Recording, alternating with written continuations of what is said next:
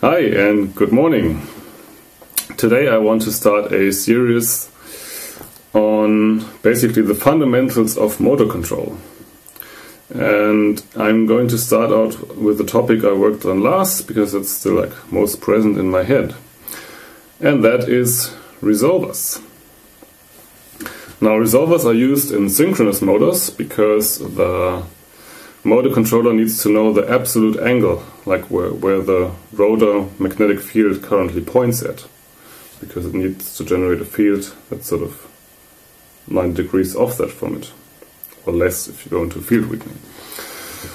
Um, so for that reason you cannot use incremental encoders, because they just give you a relative position, like an velocity information. So, resolvers, how do they work? That's what Wikipedia thinks how they work. Um, they say there's an excited rotor in the middle, and then there's um, stator coils um, arranged in like a 90 degree offset to that. And they generate a phase shifted signal, as we can see down here in the bottom. And from comparing sort of the amplitudes of the sine and cosine signal, we can then compute back the, the absolute rotor position. And it's a pretty simple mathematical exercise. It's only on the German Wikipedia page. Uh, so once you've measured the two amplitudes, you use the arcus tangens function to get the angle and that's not actually correct because if you out to use arcus tangens a1 over a2 um, you may know from school that arcus tangens is like 90 degree periodic so you wouldn't really know where the rotor currently is.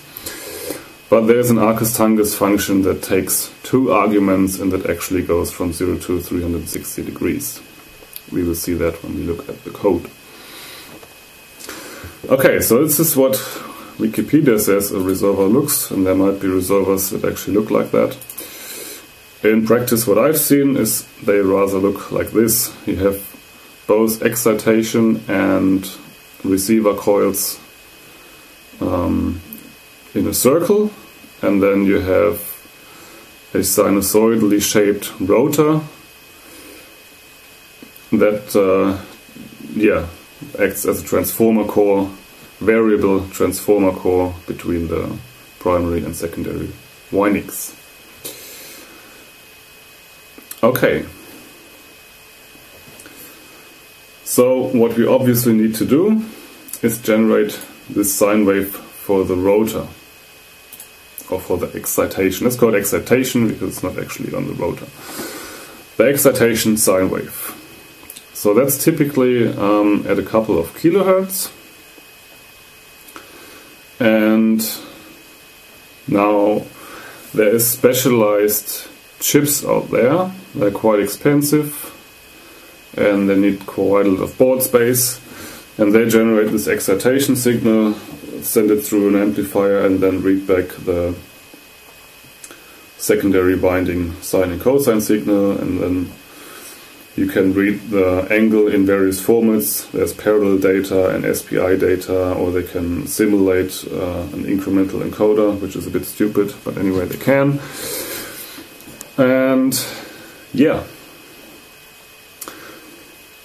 I wanted to get around these expensive chips and save some board space. So I thought let's do this differently. Let's have our little STM32 generate the sine wave. But I figured it uh, there is no DAC in there that we can use. So we have to use other means of generating the sine wave. And it's important that the STM generates the sine wave itself. Like we cannot have a sine wave generator, I don't know, com comprised of an op amp that uh, sort of generates the sine wave as a background task because we need to exactly synchronize. Like this is the peak, of our excitation sine wave, and then after some delay, we need to read um, our secondary winding feedback signal. It has to be fixed delay, so we have to know where the peak of the resolver sine wave is, uh, the exciter sine wave is. to be able to read the feedback at the right instance. Um, okay, so the STM32 is not able to generate a sine wave, generate a sine wave directly, but what it can generate quite easily is a square wave.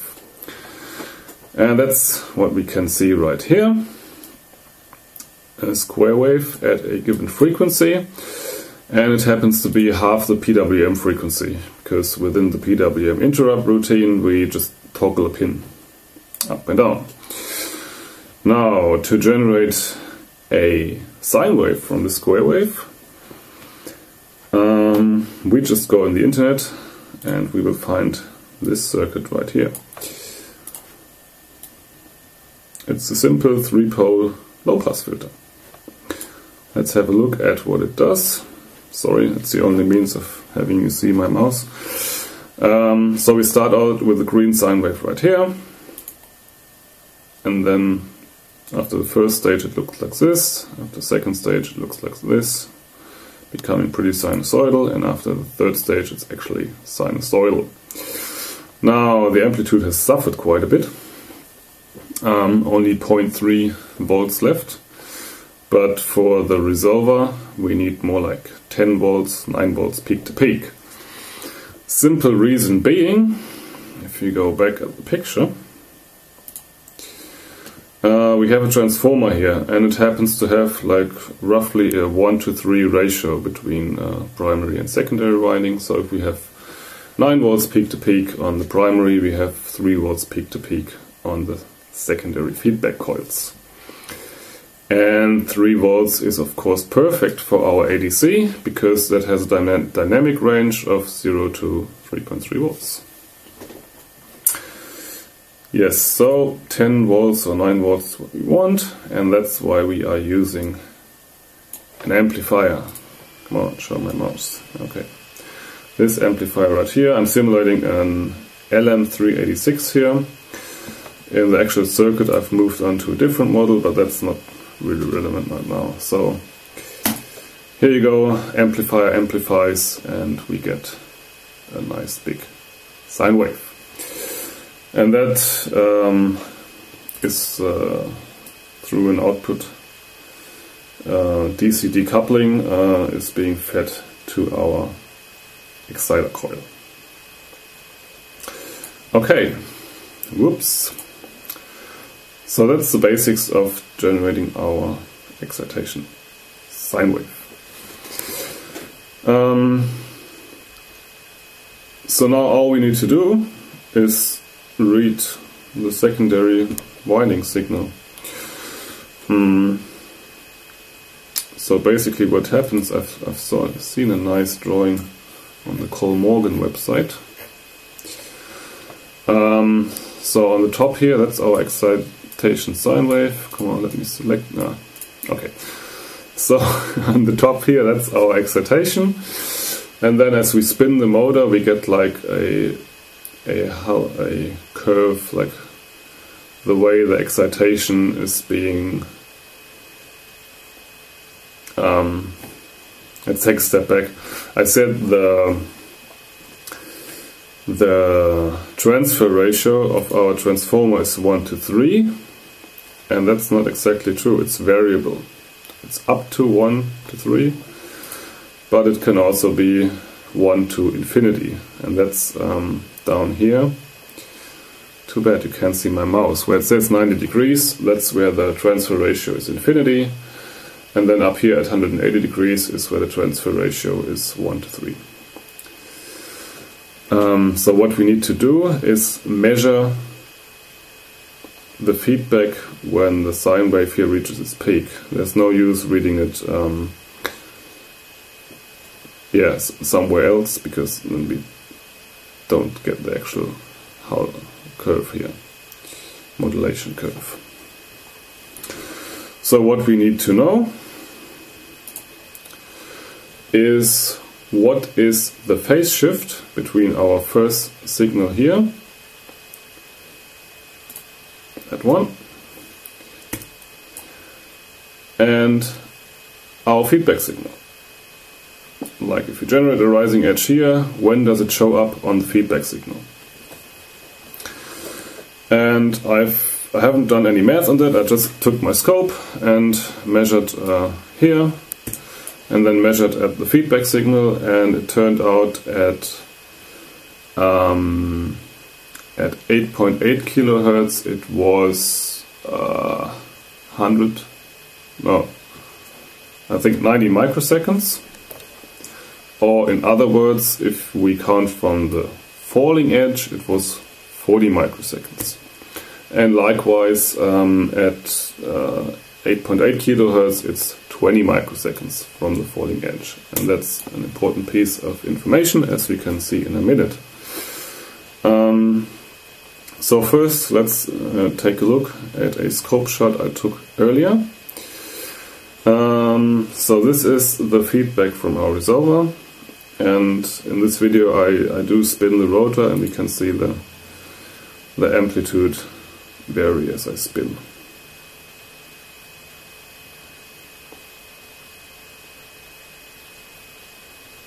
Yes, here we go. Now, um, let's have a look at the code.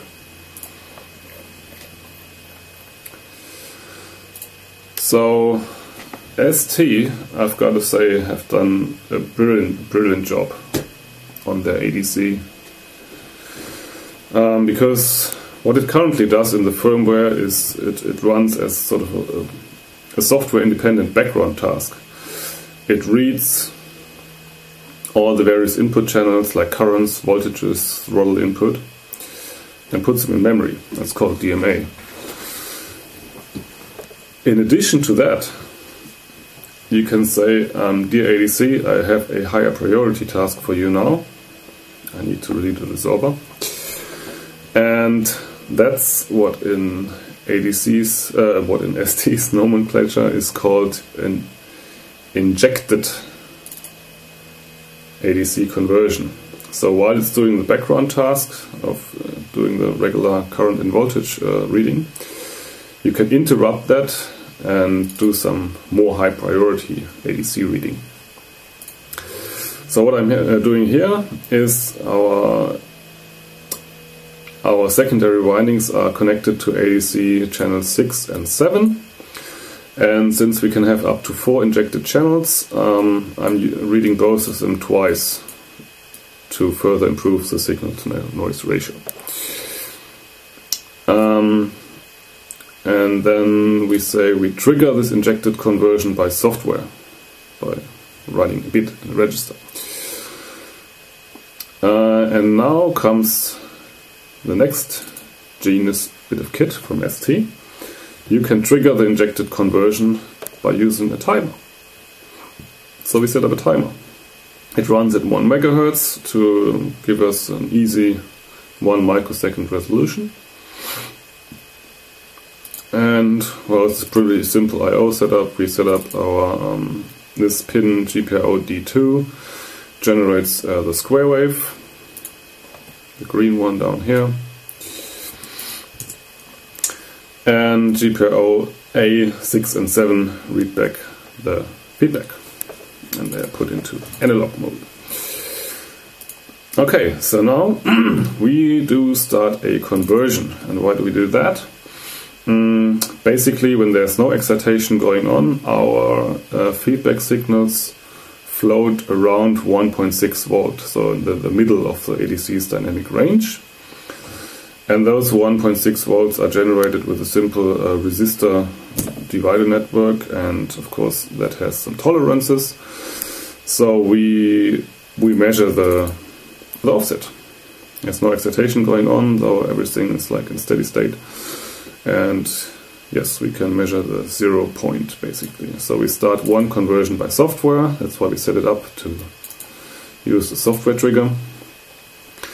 And when that conversion is done, we read channel 6 and 7 um, and use another nice bit of kit that ST provides, the offset registers.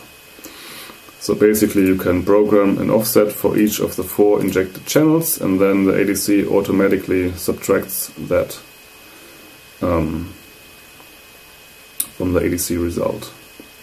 and then you get a nice signed um, result from minus something to plus something nice and um, symmetric. Okay, next uh, thing we do is we change the trigger from manual or from software interaction to the timer. So now whenever the timer fires on channel 4, the ADC starts to do its conversion. So that's the setup done. So let's see what we do day by day when we're running our PWM loop.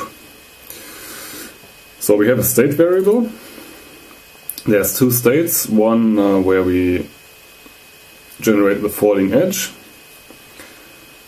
and set up our timer and then one where we generate the rising edge and read our ADC.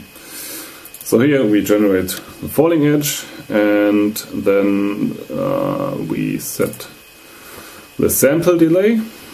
So in, in case of 8.8 uh, kilohertz PWM frequency this would be 40 microseconds and for 17.6 kilohertz it would be 20 microseconds. And yeah, we sort of set up the counter to, to generate an event after 20 microseconds, which then uh, automatically triggers the ADC injected conversion. Okay, so next time we come back into here and the state variable is toggled, so we go into this section down here generate a rising edge and now we read our cosine signal from injected channels 1 and 2 and the sine channel, uh, the sine signal from injected channels 3 and 4 and now we use our arcus tangens 2 function which takes two arguments and returns our absolute rotor angle between 0 and 360 degrees. In fact, for a higher resolution, we do use 0 to 655 and 355, like 2 to the power of 16 um, digit, digits. And actually, that's all there is to it. That's all I can say. We can take a look at the hardware, taking a picture of it. So we can see, let's go into the crop mode, so I can actually see what I'm talking about. So we have our three-pole uh, low-pass filter right here. Then we have uh, the DC decoupling and the excitation amplifier, which is a simple, cheap, 30-year-old generic audio amplifier. It's nothing special. It's an audio amplifier. And that, like I said, generates our like 9 volt peak to peak voltage. And then down here we generate the roughly 10 volts to power the amplifier. And then here C41 is our DC decoupling capacitor. And the part cost uh, of, of that stuff is like 50 cents. It's, it's really nothing because all the exciting stuff now happens in software.